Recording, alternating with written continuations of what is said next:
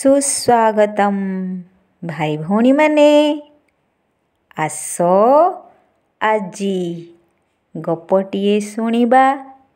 ଗପଟିର ନାମ ଦଳର ବଳ।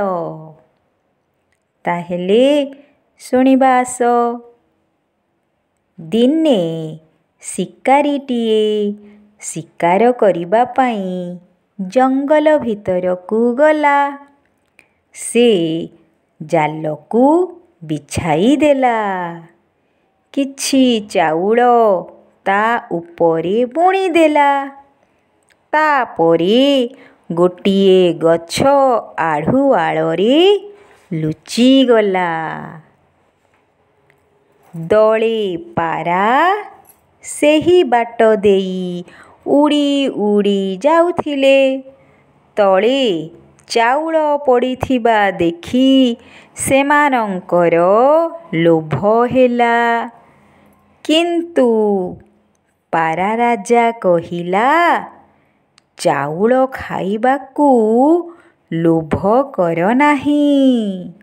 ଶିକାରୀ ଆମକୁ ଧରିବାକୁ ଜାଲ ବିଛାଇଛି। ନହେଲେ ଜଙ୍ଗଲ ଭିତରକୁ ଚାଉଳ କେମିତି ଆସିବ?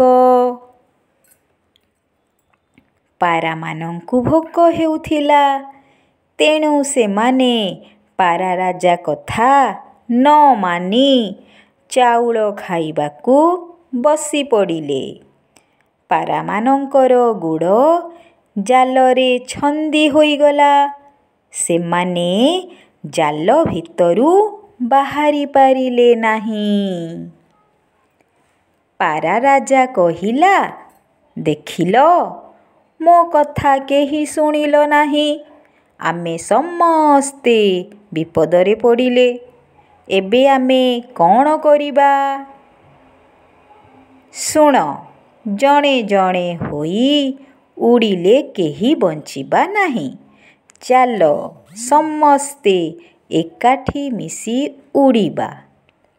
ଏଥରକ ପାରା ରାଜା କଥା ମାନି ସବୁ ପାରା ଏକାଥରକେ ଡେଣା ହଲାଇ ଉଡ଼ିଲେ।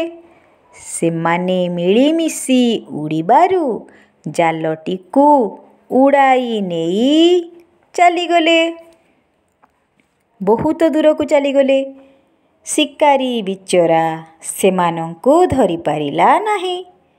ପାରାମାନେ ଯାଇ ଗୋଟିଏ ପାହାଡ଼ ପାଖରେ ଓହ୍ଲାଇଲେ ପାରା ରାଜାର ସାଙ୍ଗ ମୂଷା ସେଠାରେ ଗାତ କରି ରହୁଥିଲା ପାରା ରାଜା ତାକୁ ଡାକିଲା ମୂଷା ବାହାରକୁ ଆସିଲା ତାର ମୁନିଆ ଦାନ୍ତରେ ଜାଲଟିକୁ ଟିକି ଟିକି କରି କାଟିଦେଲା ପାରାମାନେ ଜାଲରୁ ଖସିଗଲେ ମୂଷା ଉପକାର କରିଥିବାରୁ ତାକୁ ଧନ୍ୟବାଦ ଦେଲେ।